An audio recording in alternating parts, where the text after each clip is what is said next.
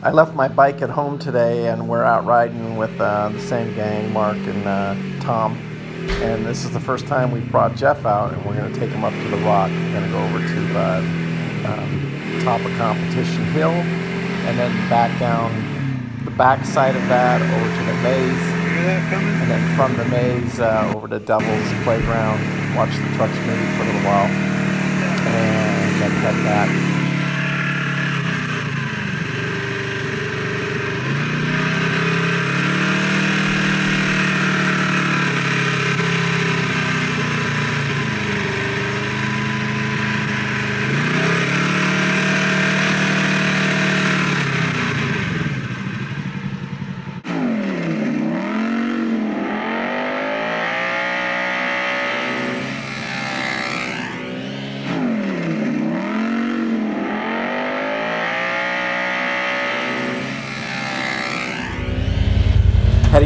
Competition Hill.